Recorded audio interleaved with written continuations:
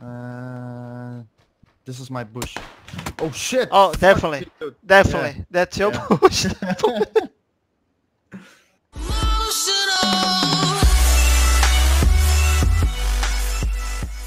Hello guys and welcome back to the channel. So today we're gonna do 15 tips to improve your gameplay in Battlegrounds.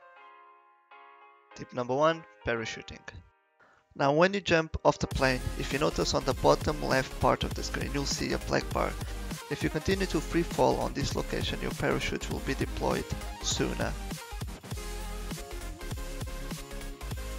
Tip number 2, terminal velocity. To achieve terminal velocity, simply press W and point your mouse down. Your character will start gaining speed to a max of 234 km per hour. This, in terms, will allow you to gain enough speed so when your parachute finishes deployment, you'll be already halfway to reach the ground. Tip number 3. Collecting loot.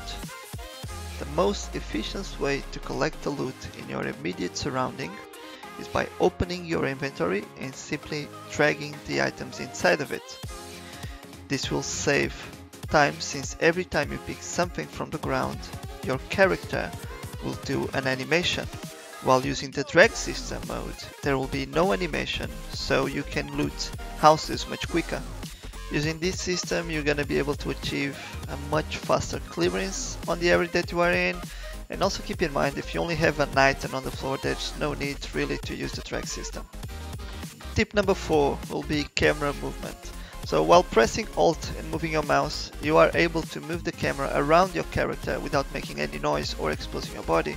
This is very useful when in close quarters or moving around the map, you can have a better perspective of your surroundings. Tip number 5 will be key bindings. Now key bindings is a very important tool that most players pay no attention. You can keybind specific skills or traits to your mouse or keyboard in order to make it easy to reach in a time of need. I advise you at least to put a keybind on the auto run feature of the game. Tip number 6 will be how to quick equip gears and attachments. So to do this you just need to open your inventory, right click on the item that you want to equip and voila, much quicker than dragging into Tip number slot. 7, cycling grenades. So you have three different ways to do it. From your inventory you can drag them or right click them or in-game pressing the number 5 on your keyboard will cycle between them. Tip number 8 will be shoulder swap. So in game while aiming down sights you have the option to swap shoulders. So if you press Q it will be the left side, if you press E it will be the right side. Tip number 9, adrenaline boost, and this one already saved my ass a couple of times from outrunning the blue force field. Now the way to activate this is by using or combining uh, either a painkiller and soda or two sodas and two painkillers. Either way you need to combine two of them and above your health bar you're gonna have like a small icon of a man running. This will allow you to run faster for a short period of time. Tip number 10 will be cover to cover and this means avoid running straight forward to an objective. The only thing you're gonna achieve by doing this is getting yourself killed. Instead, always go from cover to cover. So either hide behind a tree or a wall and before you make your next move, target the nearest cover possible. Keep in mind that as soon as you leave cover, you are an easy target. So moving cover to cover will increase the chances of survival. Tip 11 will be hold your breath. While aiming down sight, if you press the shift button, you'll see a small lung icon appear close to your health bar on the right side. This will provide you a small boost in zoom and stable aim. Tip number 12 will be don't rush. Keep in mind that after clearing a building, someone might be out there waiting for you for an easy kill and taking a loot. God damn it. Tip number 13, car speed boost. Now while driving a vehicle if you press the shift button on your keyboard you will have a speed boost. This will help to achieve the maximum speed of the vehicle you are using much faster.